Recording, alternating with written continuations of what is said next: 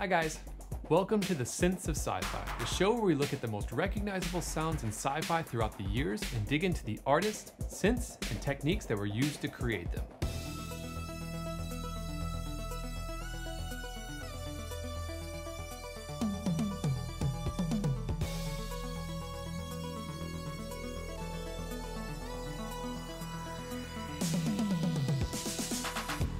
In this episode, we're going to continue our look into Wendy Carlos' work on Tron, and in particular, her use of one of the original digital additive synthesizers.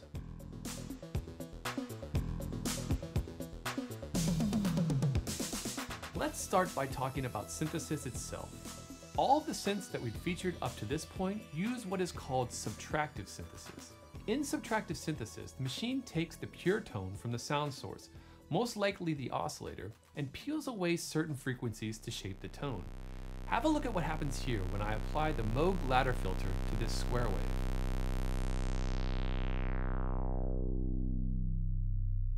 You can see that as I engage the filter, in this case a low pass filter, the higher frequencies of the tone are removed.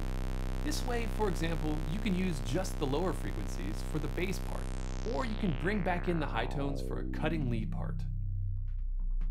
So, on the other end of the synth spectrum, we have additive synthesis.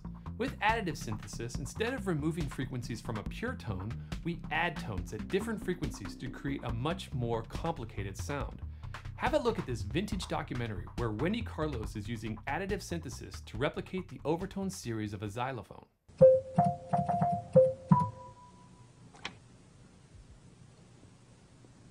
Now she specifies three more pure tones in the proportion she already knows a real xylophone produces.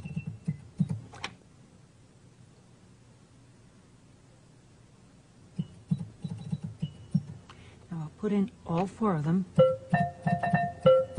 Now this is something that's very close to being a replica of a xylophone, but there's an element that's missing, and that is the hammer noise that you get with a real instrument when the mallet impacts against the wood. For this final touch, she adds an electronic shake to each sound component.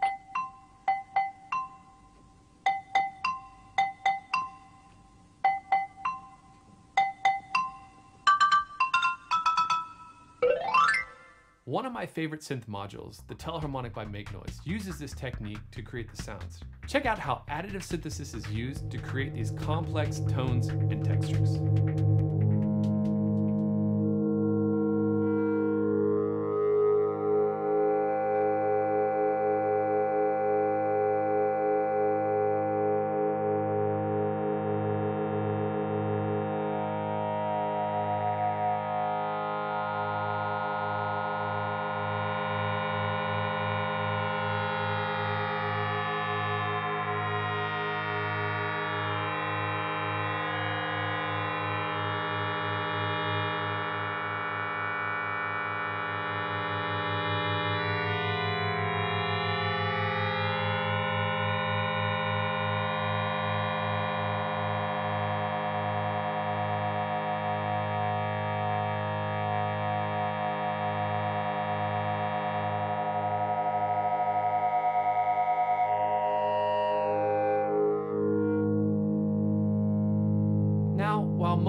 Analog from the late 1970s used subtractive synthesis, the advancement of computers allowed for new digital signal processing, thus the development of these compact additive synthesizers. The synth that Wendy Carlos used on the film Tron to create the complex synth orchestra sounds was one of the first synths to utilize digital signal processing, the Crumar General Development System.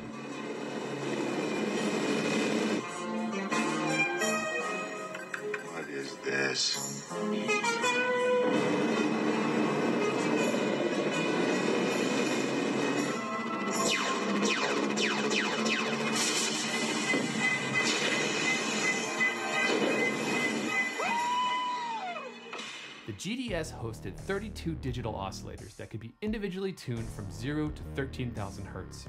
The tones could then be triggered together to create incredibly complex sound. The development of the GDS actually started as a communications project at Bell Labs in the early 1970s.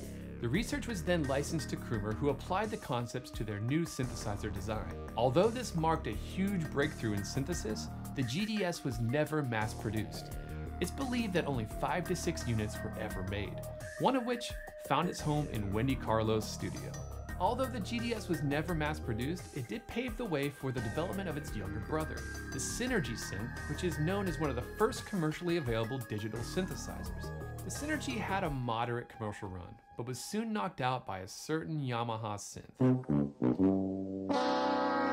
But that's a story for another video. Thanks so much for watching this episode of The Synths of Sci-Fi. I'd like to do more of these, so please leave me a comment if there are any iconic sounds that you would like me to feature. And if you like this video, please consider supporting the channel by hitting those like and subscribe buttons. And I'll see y'all in the next video. All the best.